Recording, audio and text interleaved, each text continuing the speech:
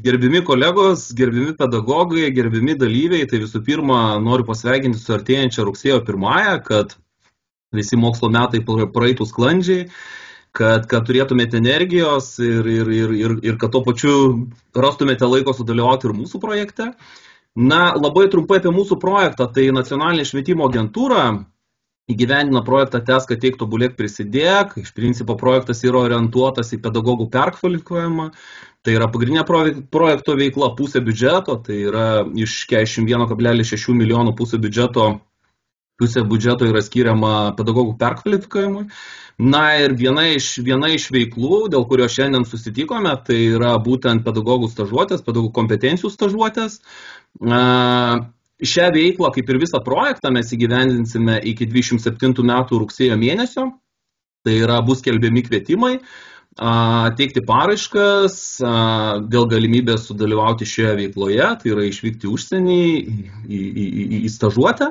Va, tai apie visas detalės, apie finansavimo, apie paraiškų teikimą, apie apie sąlygas, kur galima vykti, tikslinė grupė ir visa kita. Detaliau pristatys jau mano kolegė Gedrė Čiapienė, na ir kiti kolegos. Mm, prašymas labai visų e, išsijungti mikrofonus.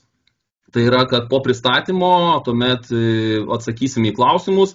E, taip pat raginu, e, esant klausimam, rašyti į mūsų pokalbių, pokalbių skiltį pasistengsim atsakyti visus klausimus. Na, į tuos, kuriuos nespėsim atsakyti, arba jeigu turėsite dar klausimų ir po pristatymo, tai drąsiai galite siūsti mūsų, mūsų, mūsų komandai. Tai yra kontaktus, kontaktus mano kolegė Gedrė Čiapienė paviešins. Taip pat e, visi kontaktai yra mūsų nacionalinė švietimo agentūros tinklapyje, tai būtent yra prie projekto Testai teik tobulėk prisidėk. Na ir ką, visiems linkiu gero klausimo ir perdodu žodį savo kolegiai Gedriai. Mes norėjome Jums pristatyti, e, kaip tos stažuoti, kaip dalyvauti stažuočių konkurse ir kaip po to jas vykdyti. Pedagoginio darbuotojo savarankiškai pasirinkta 50 dienų veikla, skirta pedagoginėms kompetencijoms tobulinti ir kvalifikacijos tobulinimą organizuojančiose institucijose ar šešėliuoti užsienio švietimo įstaigose siekiant įgyti ir ar plėtoti pedagogines kompetencijas reikalingas pedagoginio darbuotojo profesinėms veikloms ar pareigoms vykdyti. Taigi, e, kokios būtų galimybės dalyvauti? Mes planuojame, kad į stažuotės užsienyje išvyks 540 pedagoginių darbuotojų, e, iš kurių 120 turėtų būti iš sostinės regiono. E, čia mes įvardyjome, kas įeina į sostinės regioną.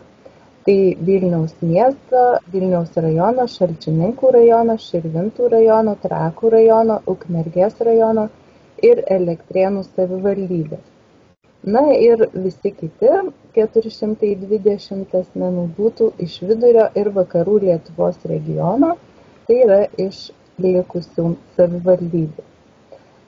Kvietimai dalyvauti mes planuojame, kad iki 2027 metų skelbsime iš viso apie tris kvietimus E, pedagoginių darbuotojų kompetencijų tobulinimo stažuotėms užsienyje. Na ir stažuočių išlaidos bus dengiamos iš nacionalinės švietimo agentūros e, teska teik tobulėk prisidėk projekto lėšų. Stažuočių užsienyje tvarkos aprašas ir paraiškos teikimas. Tai e, noriu pasakyti, kad prieš pasirenkant stažuotę užsienyje prašytume susipažinti su pedagoginių darbuotojų kompetencijų tobulinimo stažuočių užsienyje tvarkos aprašu, kuris buvo skelbtas ir prie šio kvietimo ir jį galėsite rasti visada projekto svetainėje. Na ir tada prašome užpildyti paraiškos formą, kuri yra paskelbta ir taip pat jūs gausite ir šias skaidrės, tai matysite, e, kaip galima tą paraiškos formą pasiekti ir pridedant skenuotus reikiamus dokumentus. tai tie dokumentai būtų švietimo įstaigos vadovo pasirašytas sutikimas. Noriu akcentuoti, kad pasirašytas, nes jau turime keletą pateiktų, tai ne visi yra pasirašyti. Taip pat turi būti pasirašytas ir stažuotės dalyvio sutikimas dėl duomenų tvarkymo. E, dabar yra svarbu dėl BDR reikalavimų ir taip pat priimančios organizacijos patvirtinimas, kažkokia išankstinė registracija ar susitarimas, galbūt elektroniniu paštu e, gautas susitarimas, tai jį taip pat prašome pridėti. Ir bus pasirašomas trišalis susitarimas, kai jau gausite finansavimą stažuotėjai, e, tai pasirašo mokykla, jūsų įstaiga ir jūs kartu e, su mumis. Taip. Mm, turbūt neperšoku. Gerai viskas. Taigi šiuo kvietimu dabar numatoma atrinkti 30 pedagoginių darbuotojų iš sostinės regiono ir 105 pedagoginius darbuotojus iš vidurio ir vakarų Lietuvos regiono. E, taigi dar kartą priminsiu, kad antrankoje dalyvaujantis pretendentas būtinai turi būti pedagoginis darbuotojas, išskyrus aukštųjų mokyklų darbuotojus. E, pedagoginių darbuotojų sąrašą jūs galite rasti, aš čia įdėjau paspaudę šitą nuorodą skaidrėse, arba tiesiog įvedę pedagoginių darbuotojų sąrašas ETAR sistemoje šiame same patvirtintame dokumente. Taigi, pretendentas turėtų mokėti pasirinktos stažuotės darbinę kalbą ne žemesniu kaip B1 lygiu. Sertifikato mes nusprendėme neprašyti ir tikime, kad jūs patys įsivertinsite, e, kad mokate anglų kalbą, kad galėsite stažuotės metu laisvai bendrauti e, ir nesidaryti savo kažkokiu tai sunkumu. E, šiuo kvietimu paraiškas prašome teikti iki rugsėjo 16 dienos ir pasirinktų stažuočių įgyvendinimo laikotarpis prašome kitiems visiems mokslo metams. Ir ne, nuo 24 metų, na, parašėme spalio 14, bet visgi įsivertinkite ar suspėsite nusipirkti bilietus, tai gal truputį ir vėlesniam laikui reikėtų ieškoti. Ir iki 2025 metų rūpjūčio 29 dienos.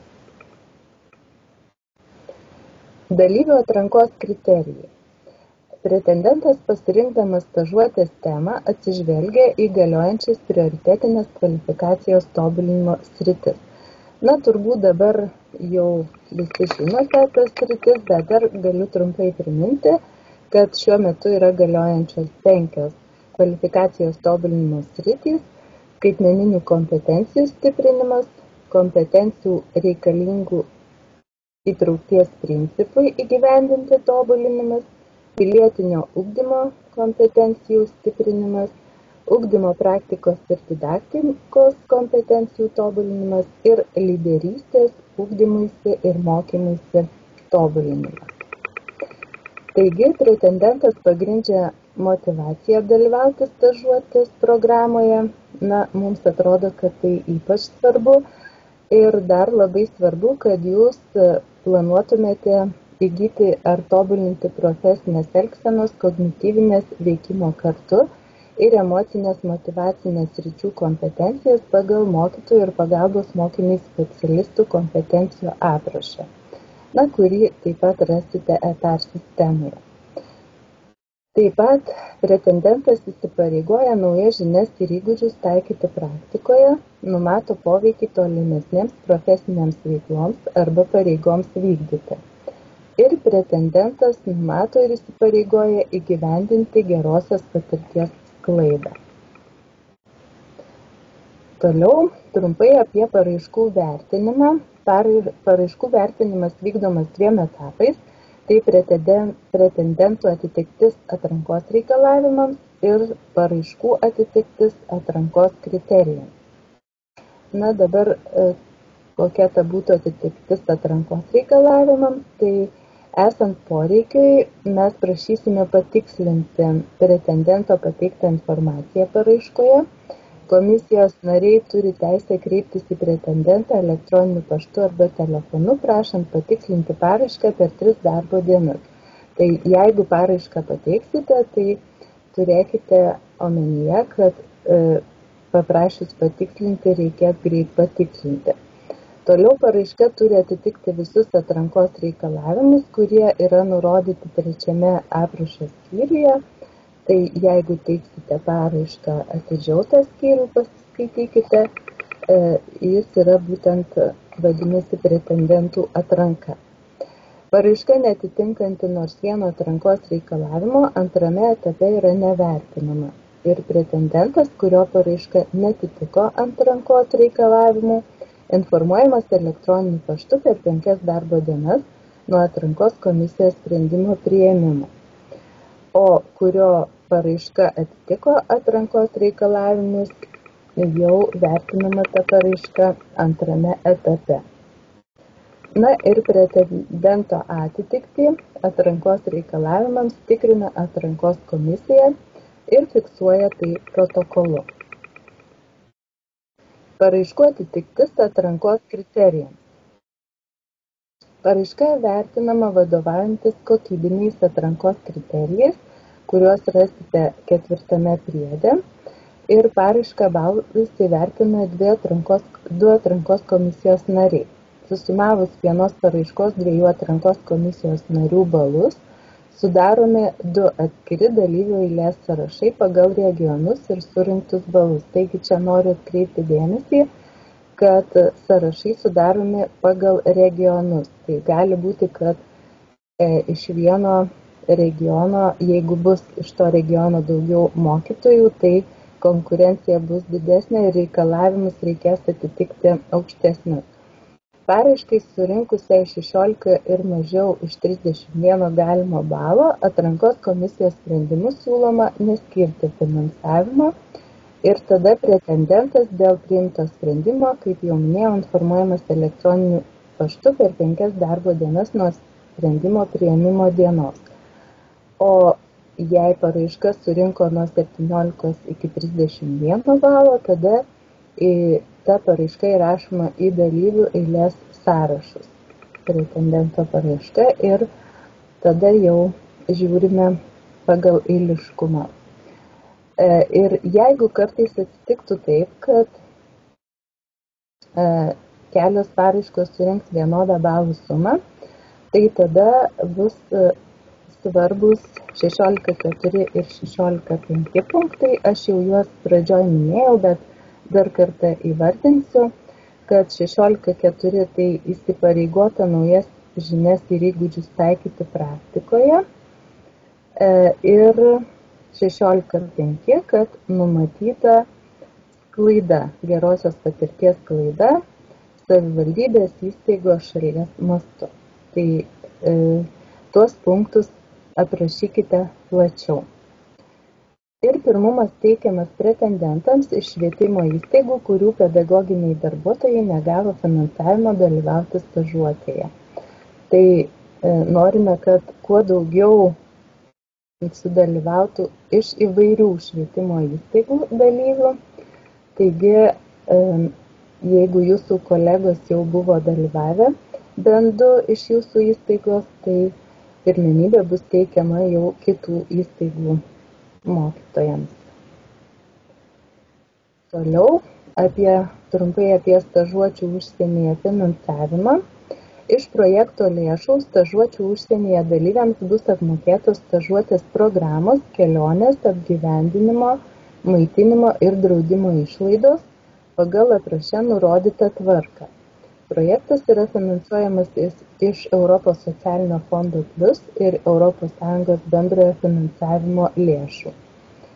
Taigi pagrindiniai akcentai kad stažuotės programos mokestis neturi viršyti aštuoniasdešimt eurų už vieną dieną ir fiksuota yra kelionės į užsienį ir atgal išlaidos ir vienos dienos praleistos stažuotėje įkainis, į kurį įeina pervežimo judėjimo šalyje, Lietuvoje ir užsienyje e, paslaugos, taip pat gyvenamojo ploto nuomos išlaidos, maitinimo išlaidos ir kelionės draudimas.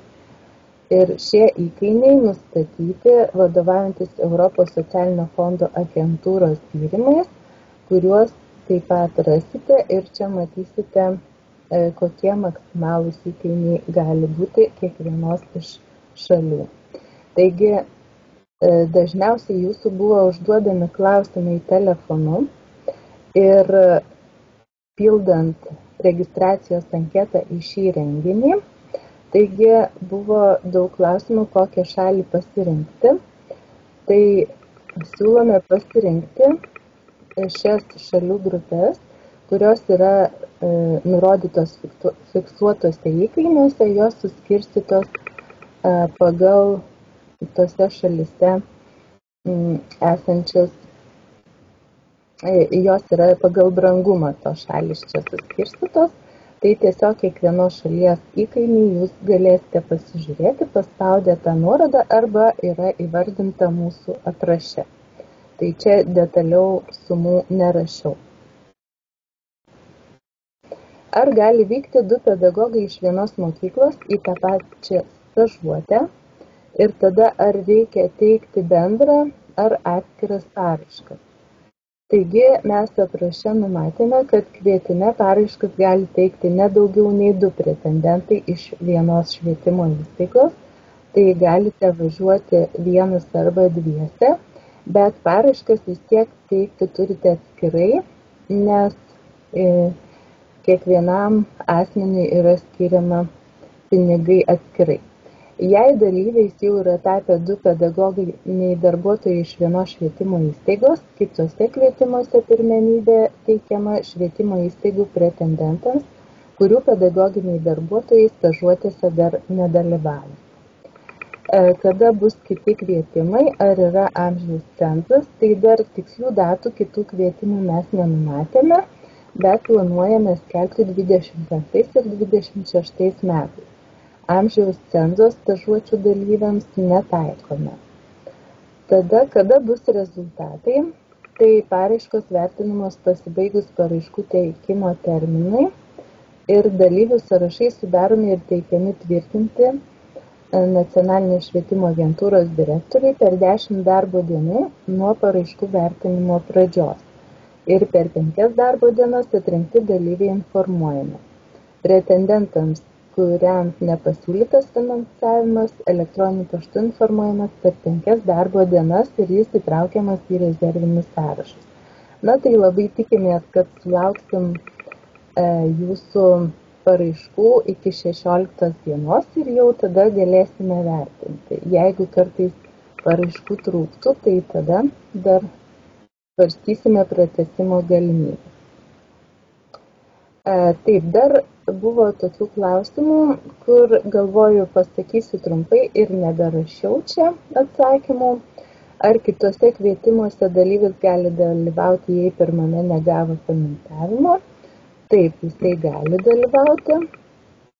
Ar neatsiranda įsipareigojimai organizacijai, kuri patvirtino dalyvavimą, tačiau dalyvis finansavimo negavo? Na, šiuo atveju mes čia netarpininkaujame, tai jūs turėtumėte įsivertinti, e, kiek jūs laiko galite turėti pranešti, kad nedalyvausite tame renginyje. Kas gali pasirašyti sutikimą? Sutikimą pasirašo tuo metu jūsų ugdymo įstaigai vadovaujantis darbuotojas. Tai arba direktorius, arba jeigu direktorius atostogauja, tai tada pavaduotojas ar galima nurodyti stažuotės datą preliminariai keisti jos vietą ir laiką jei tema ta pati bet nesusirinko grupė na čia aišku labai prašytume kad tokių tikėsimės kad tokių atvejų bus labai mažai bet žinoma tada spręsime jau individualiai Ar būtinai užsienio kalba turi būti anglų, ar reikės įrodyti užsienio kalbos mokėjimo lygį B1 dokumentu. Tai jau, kaip minėjau, um, įrodymo neprašome, o um, kalba nebūtinai galėtų būti anglų, tai galėtų būti darbinė to uh, renginio kalba. Na, žinoma, jinai turi būti Mm, leistina kalba. Ar su pirmuoju kvietimu galima planuoti stažuotę, pavyzdžiui, 2026 metais? Na, vis tik mes nusprendėme, kad su pirmuoju kvietimu mes prašome, e, kad jūs rinktumėte stažuotę būtent kitų mokslo metų bėgyje. Ateinančių jau dabar, greitai be prasidėsiančių. E, toliau įtraukusis ugdymas suaugusiųjų mokymo centruose ar būtų galimybė pagilinti kompetenciją šioje srityje. Na, jei gerai e, supratau klausimą, tai jeigu jūs esate pedagoginis darbuotojas ir dirbate ir norite pagilinti įtraukio ugdymo srityje, tai tikrai yra galimybė dėl to, kad įtraukusis ugdymas yra viena iš prioritetinių sričių.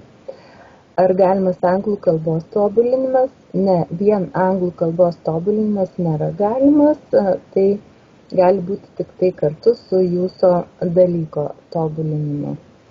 Nes jeigu, tarkime, yra tokių mokyklų, kur kai kurie dalykai mokomi anglų kalba, tai e, gali būti, bet esmė, kad jūs turite tobulinti ir savo mokomą mokamą dalyką kartu. Ar gali savivaldybės švietimo skyrius neišleisti vykti į stažuotę sėkmės atveju? Čia turbūt aktualiau yra mokyklų vadovams. Na, mes turbūt negalėsime įtakoti, jeigu švietimo skyrius nuspręs neišleisti. Tai tiesiog jau turėtumėte susiderinti iš anksto. Ar galima nurodyti stažuotės datą preliminariai, keisti vietą ir laiką? Na, čia vėlgi m, labai norėtume, kad to nebūtų, kad jau jūs tikrai pateiktumėte tikrą stažuotės datą, vietą ir laiką. Mm, jeigu dar, tarkim, šešėliavimui mm, būsite nenusimatę labai konkrečios dienos, tai galvočiau kad galbūt paraiškoj ir galite nurodyti mėnesį bet jau prieš pasirašant sutartį tai tikslias dienas tikrai reikėtų mums pranešti.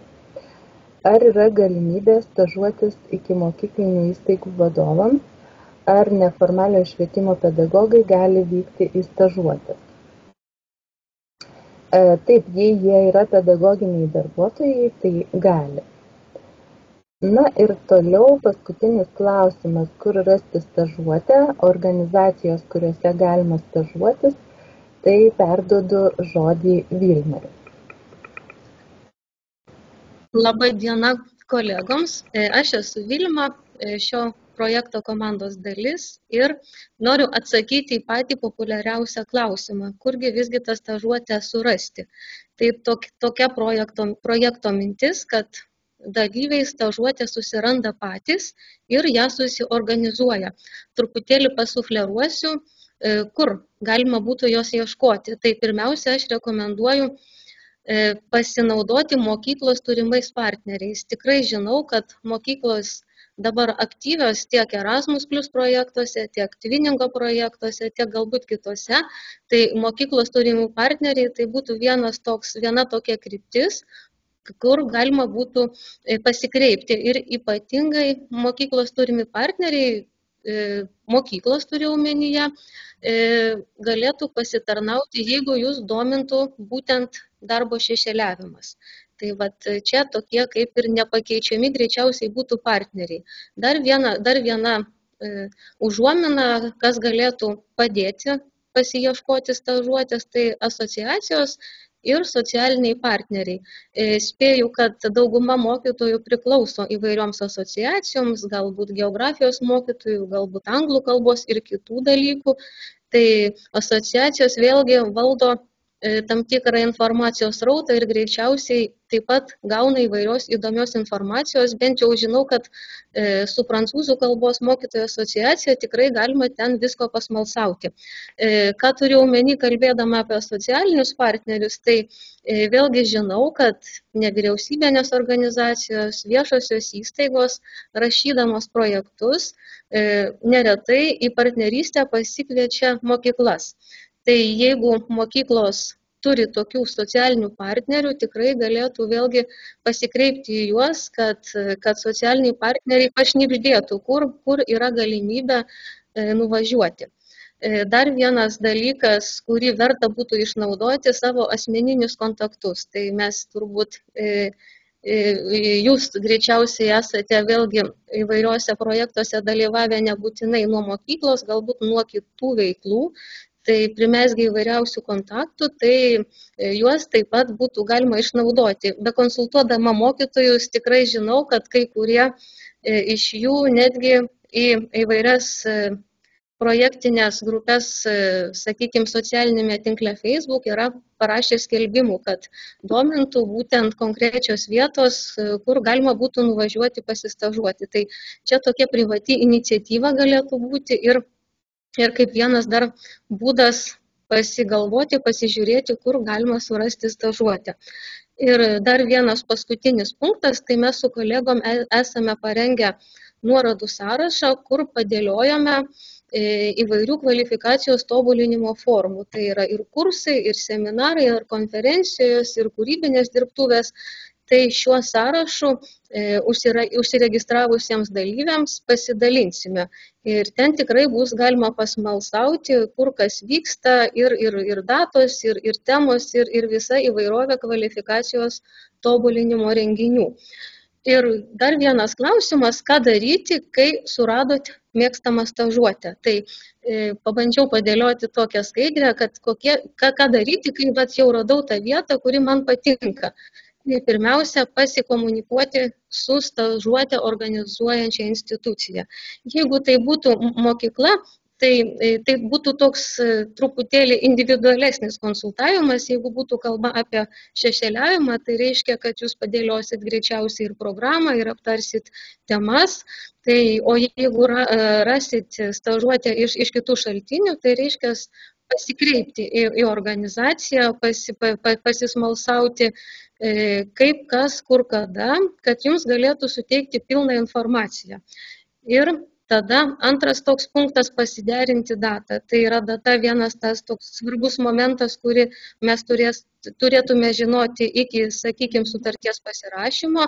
E, data lygiai taip pat svarbi, kad jūs galėtumėte iš mokyklos išvažiuoti, tai susiderinti datą ir užsiregistruoti į stažuotę, kad būtent tą registracijos formą ar, ar anketą ar kažkokiu kitokiu pavydalu jūs užsiregistruosite, galėtumėte pridėti prie paraiškos.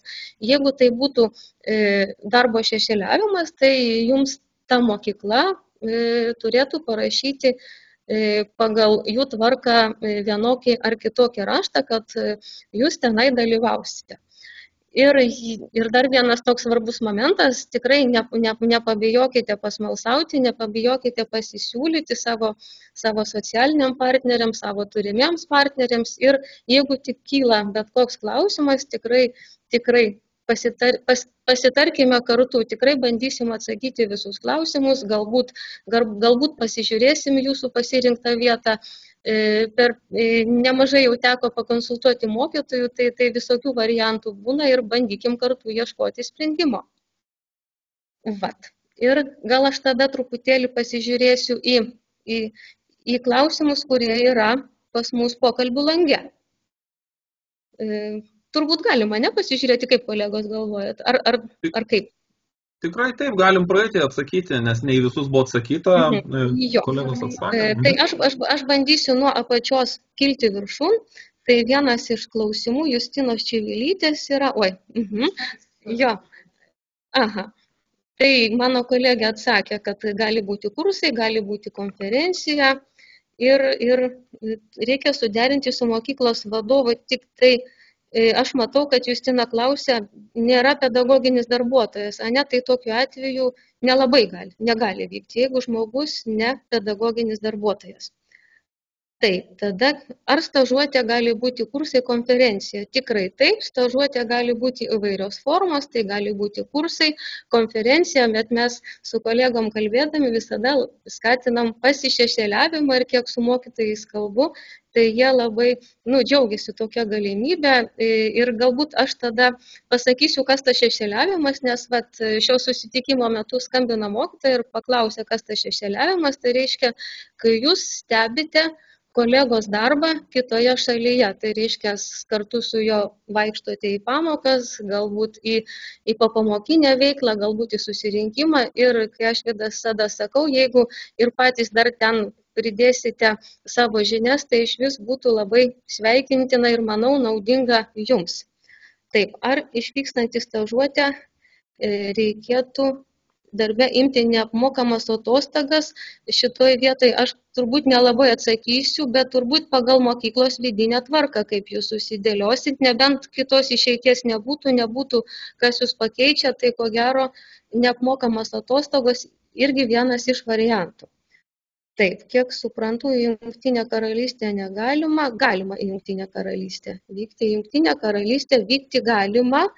E, lygiai tai klausimą atsakiau aha. Taip jei surandame tinkamą temą ar šešėliavimą ne ugdymo įstaigoje ar tai bus tinkama vieta?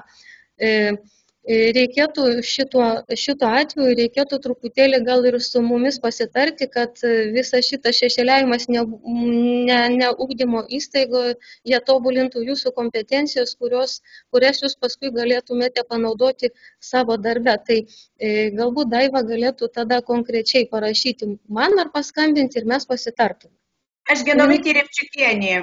Ir aš, aš manau, kad yra mažai mokymo institucijų, iš kurių nebuvo mokytojai arba profesijos mokytojai stažuotėse.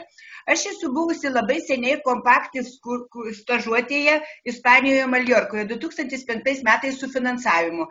Dabar apie 15 metų aš dirbu skyriuje su SUP mokiniais ir niekada jokiuose tokiuose kursuose nedalyvavau. Ar aš galiu teikti paraišką, nes aš reikalavimus atitinku į aną stažuotę tą projektą aš padariau viską pati ir ten, nu, kažkaip taip. Tai dabar. Tikrai, tik, tik kiek aš supratau iš, iš, iš greito susakymo, jūs pretenduoti galite. jūs pretenduoti. Tai labai tada pretenduosiu, ačiū labai. Būtinai pretenduokit, nesigėdikit. Nu, Taip, nu, aš suprantat jau tokio amžiaus solidesnio nei kiti, bet aš baigiu. Amžiaus ten nėra. Mhm. Amžiaus ten nėra. Mėlyje, ačiū prašom, e, ar į stažuotės galima vykti tik į mokyklas. E, e, galima vykti ir ne į mokyklas, nes įvairias kvalifikacijos, įvairius kvalifikacijos tobulinimo renginius organizuoja ir kitos. Ir kitos įstaigos tikrai nebūtinai į mokyklas, į mokyklas greičiausiai būtų toks tinkamiausias vykimas pasišešėliuoti. Taip, taip stažuotė turi būti ne trumpiau kaip penkios dienos dvi dienos nuvykti parvykti ir trys dienos programa. Taip. E, ai atsiprašau kolegės aš kolegės atsakymą paskaičiau. Taip tai tai roma atsakė į gerb gerbiamo virgilijaus klausimą. Taip aš dabar taip taip taip taip taip taip bandysiu. E, gal yra socialinių pedagogų? E, galėtume bendradarbiauti tikrai manau, kad jų atsiras ir jūs bendradarbiauti galėtumėte. E, pasidalinsiu vieną patirtim, be konsultuodama mokytojus, tikrai du lokopedus suvedžiau. Tai, tai tikrai, tikrai atsiras turbūt ir socialinių pedagogų, kurie norės kartu pabendradarbiauti. Aha. Ar stažuotė gali būti Lenkijoje? Esu logopedė ir norėčiau tobulinti profesinės kompetencijas. E, ar mano specialybė atitiktų atrankos kriterijams. E, logopedas yra pedagoginis darbuotojas ir tikrai stažuotėje dalyvauti gali, gali Lenkijoje e, dalyvauti gali taip pat.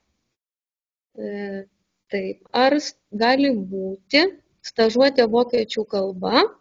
Taip, stažuotė gali būti vokiečių kalba gali būti turbūt ir kokia kita. Jeigu, pavyzdžiui, mokate ispanų, tai turbūt logiška, kad ieškosite stažuotės vietos pagal tą kalbą, kurią gerai mokate. Aha, taip, sveiki. Ar pats kandidatas turi susirasti stažuotis vietą ir viską suderinti pats? Taip, e, šitoj vietoj mokytojai turėtų padaryti namų darbus ir stažuotę susirasti patys ir pasiderinti visas detalės organizacinius darbus. Mhm. Dar vienas panašus klausimas, tai taip, priimančią įstaigą reikia mokytojai susirasti pačiam. Aha. Paraiškoje prašoma pateikti kvietimą iš priimančios organizacijos. Iš patirties žinau, kad organizatoriai į klausimus atsako tik likus mėnesiui e, ar mažiau iki kursų. Registruotis irgi negali, nes dar nežinai, ar važiuosi. Kaip tokioje situacijoje geriausia elgtis. E, e, pati esu išbandžius susirašinėjimą su priimančiomis organizacijomis ir e, negalėčiau pasakyti, kad atsako likus dviem mėnesiam iki kursų. Galbūt žmogui, kuris uždavė klausimą, galbūt taip atsitiko. E, tiesiog turbūt reikėtų vis tiek bandyti ir susisiekti su organizatoriais ir žiūrėti tada, kaip, kaip, kaip jie reaguoja.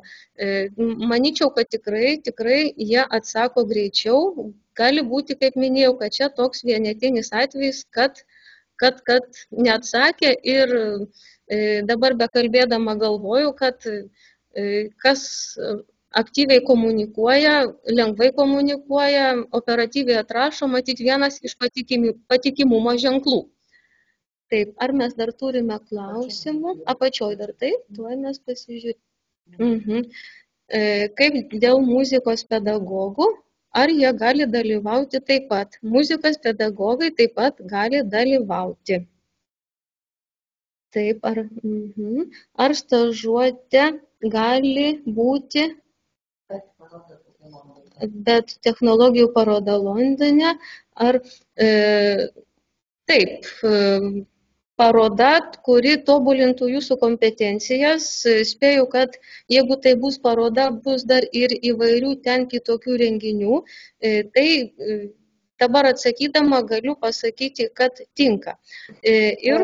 Aš atsiprašau, Vilna, na, mes buvom kalbėję, kad tokia kaip bet paroda nelabai tinka, nes ten tokie labai trumpi informaciniai renginiai. Ai, ten šitaip, nes aš negaliu taip, perskaityti, kas čia parašyta. Mhm, supratau. Tai šiaip e, tokios parodos, kur uh, jūs, na, tiesiog tik tai paklausysit vieną kitą labai trumpą paskaitą, tai netinka.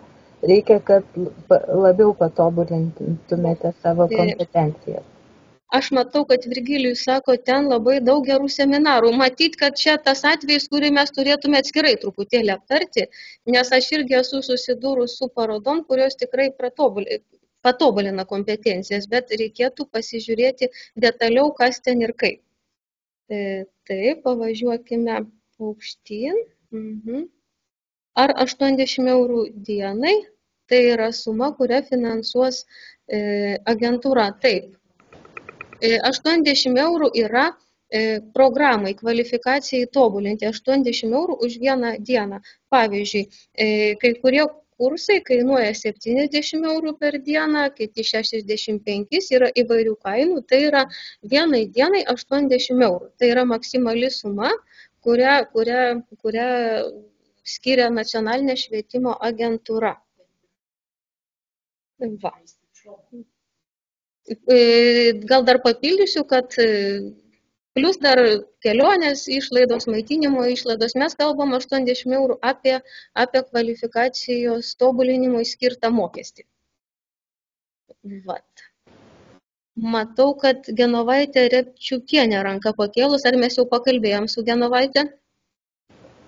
Taip, turbūt čia užsiliko Tikrai taip pakalbėjom, aš pirmai, kai rašiau tą ilgą savo tekstą, kur čia sakėt greit pasakiau, tai aš labai norėjau paklausti, nes man, nu taip, nu, buvo man smalsu.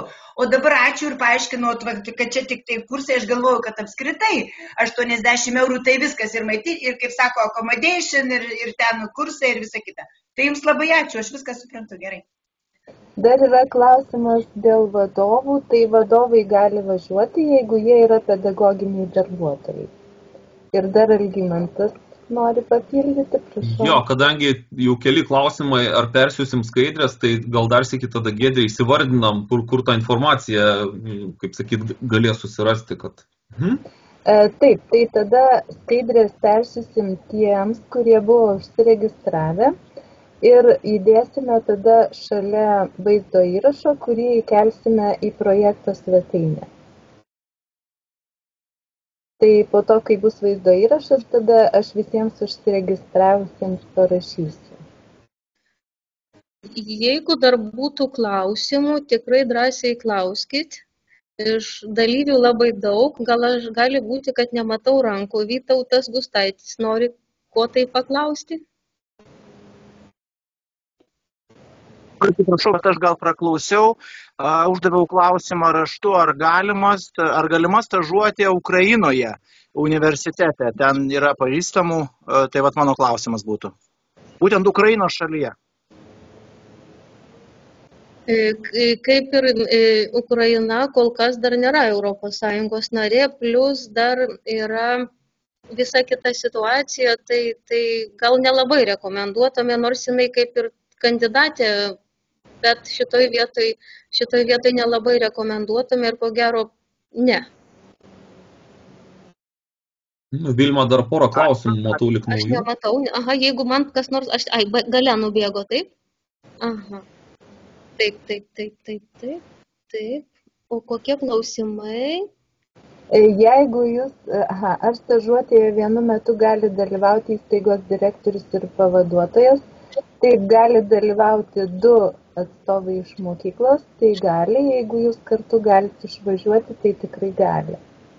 E, aš dar trumpai papildysiu, mes rengdami aprašą taip nemažai dėl, dėl kalbos diskutavom e, ir mes, kai su mokytais konsultuojamės, tai vat, e, nepabijokite kalbos žinių, jeigu kartais truputėlį kalba kiša koją, mūsų, mano rekomendacija, kaip čia, stipresniam vienoj iš kalbų pasikalbinti šiek tiek, šiek tiek tą, kuris bijo kalbėti. E, aišku, tai turėtų būti tema aktuali abiems mokytojams. Tai va čia irgi toks variantas, jeigu truputėlį kažkas labai nori ir, ir, ir bijo dėl kalbų žinojimo. Lygiai taip pat e, galbūt galite iš kitos mokyklos kolegas pasikalbinti, važiuoti į tą pačią stažuotę.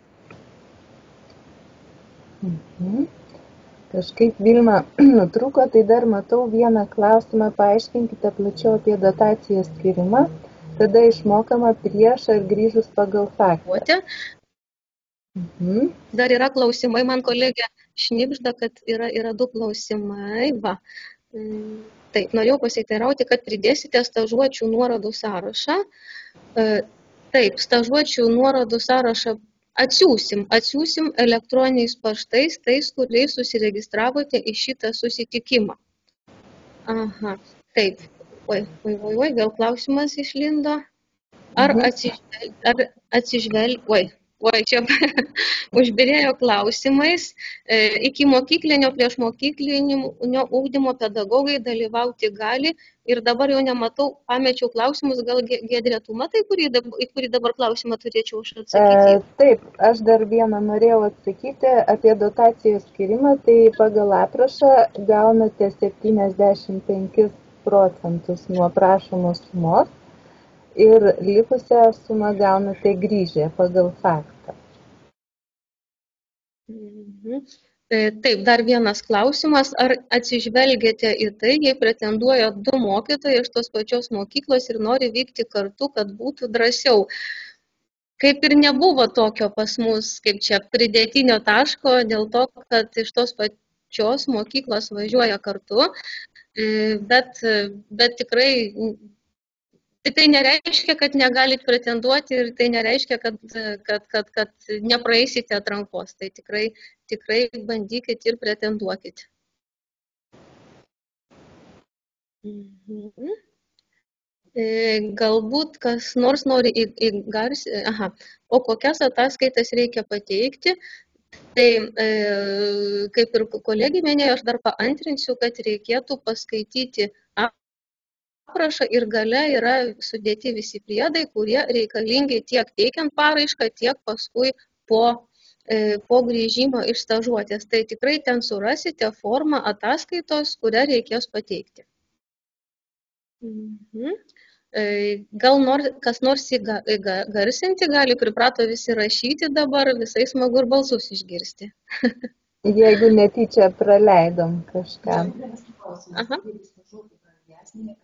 Aha, kolegė sako, buvo klausimas, jeigu stažuotė brangesnė, ar galima prisidėti savo lėšomis, prisidėti galima. Mes finansuojam tiek, kiek galim, o jeigu ten, jeigu jau yra mokestis didesnis, tada reikėtų prisidėti savo lėšomis.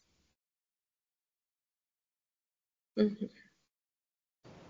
Ar jau visus klausimus atsakėme, ar dar kažkas norėtų paklausti? Įrašytinius, įrašytinius atsakėm visus, nebent dar nematom, kas yra, kas yra pakėlęs rankas, tai tikrai Aš noriu pasakyti Jums labai ačiū už labai išsame ir profesionalią šitą mūsų susitikimą ir visas informacijas, kurius Jūs pateikit. Šaunuoliai, ačiū labai. Tai aš tik tai noriu atgal atsakyti ačiū, kad dalyvavot ir visas linksmumas prasideda, kai pradedate pildyti paraiškas, nepadarę namų darbų.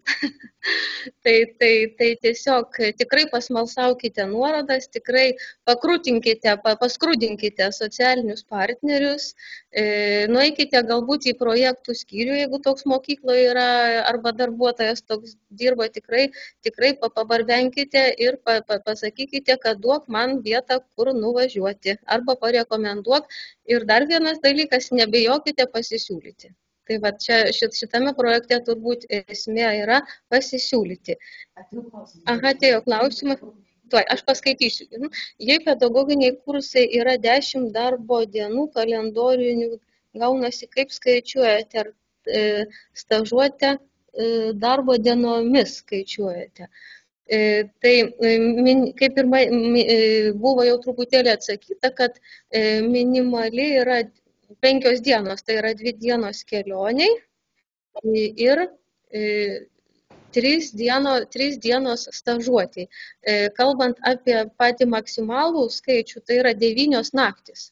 Devynios naktis, aš neklistu, Gedrė, gal, gal tu man pantrinsi? Taip, Taip mes galime finansuoti devynias naktis tai nebent tada nežinau gal argumentas padėtų nebent tada savaitgalį jie patys išsimokėtų bet nelabai gal taip įmanoma savo indėlis būtų, jeigu, sakykime, ta savaitė būtų e, 10 dienų ar ten 11, tai reiškia, tas dvi dienas ar kiek jų ten būtų, e, reikėtų patiem, patiem prisidėti.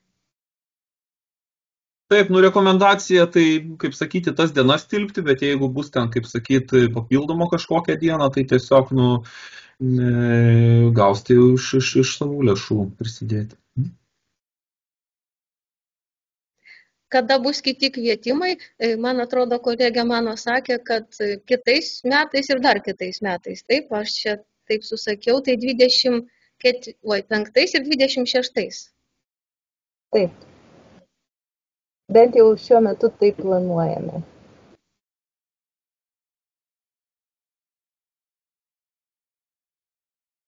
Savo pusės, kadangi daug prakonsultuoju mokytojų, tikrai nepabijokit rašyti, skambinti, e, klausti penkis kartus, tikrai, tikrai visokių klausimų būna, galbūt mes irgi ne apie visus atsakymus pagalvojam, tai tikrai ieškosim sprendimo kartu tik važiuokit ir naudokitės teikiamomis galimybėmis. Tai ačiū visiems dalyvavusiems, daugiau klausimų jau nematome. E, ir labai laukiame jūsų pateiktų užpildytų anketų. Ir dar prašome dalytis su kolegomis. Aha, dar matau vienas klausimas. Greituoju būdu atbirėjo, ar papuola į rezervą tie, kurie tuoj, tuoj, tuoj, mhm. kurie e... nepatekia į kvietimą, patenka į rezervą. Kas tai? tai čia jeigu kartais atsisakytų tie, kurie e, pateko, bet na, dėl kažkokių priežasčių nebegali dalyvauti ir atsisako ir jums dar yra laiko iki jūsų stažuotės, tai tiesiog gali atsitikti taip, kad jūs dar pakviesime. Tai čia tiek. O nu, jau kai bus naujas kvietimas, tai tas rezervas dinksta, reikia tada iš naujo teikti paraišką.